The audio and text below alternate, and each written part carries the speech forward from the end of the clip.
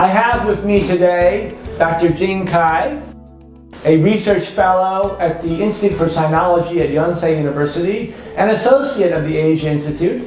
Welcome, Dr. Jin Kai. Thank you.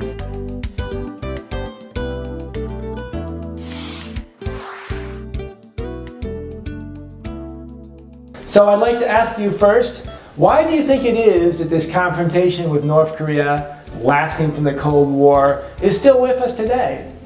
Well, I think the reason is obvious. This is a game and test that will not only, uh, you know, uh, the substantial nuclear threats from North Korea and the so-called imperialist invasion from the U.S. and South Korea. This is Right. a game of will. Right, right. So what do you think in term in a long-term resolution to this problem, this crisis, what do you think needs to be done? What are the conditions for a true resolution? There can hardly be any true resolution to solve this problem easily. Right. And uh, well, putting simply, compromise, reconciliation among major powers, not only between North Korea and, and the U.S., but also among the other major powers. Right. And the point is do not make any other extra request within these so-called six-party talks. You know, the Japanese, the Russian, and the U.S. and the Right. South Korea and the Chinese, they all have different reasons to join, but no, make it clear for denuclearization. And uh, but the point is, uh, it is approaching very quickly, so we have to do something right now. When you say critical point, you mean Yes. a, a serious sort of conflict Yes. between the United States and, and North Korea in Yes. general? Right. Well, that's, that's an excellent point.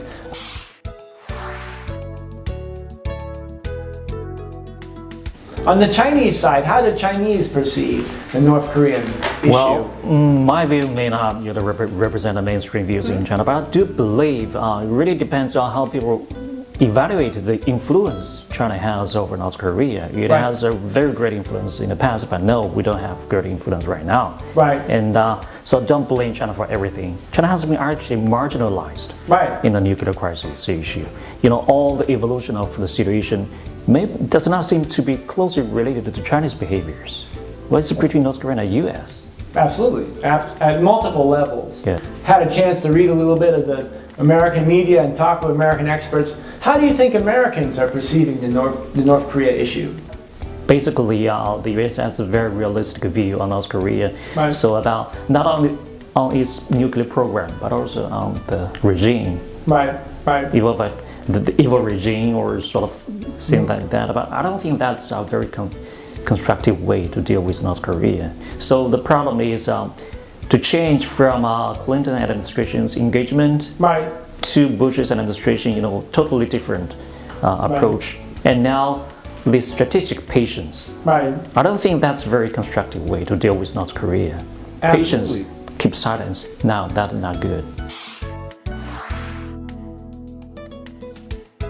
So, in terms of a long term resolution, it seems to me that we really need both the United States and, and China to be committed at a higher level in terms of an agreement uh, to limit, as you mentioned, focus on non-proliferation, right? Not be distracted by other issues, uh, but also in the sense to let the North Koreans themselves, North and South Koreans, have their own uh, dialogue about the other issues uh, for their own unification.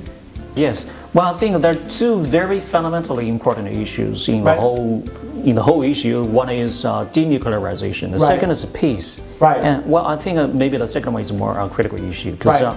uh, all the origin of this kind of nuclear issue has originated from the conflicts between North Korea and U.S. regarding the peace and Right. security. Very true. In a sense, if you're moving towards peace, then the fact that you have nuclear weapons is not such a threatening fact. You can you can have nuclear weapons and just have them sit there. Uh, but if you're not moving towards peace, then every action becomes potentially threatening. Yes. Well, thank you very much for joining us today, Thank you. and we look forward to meeting everybody again soon to talk about other critical issues in Northeast Asia.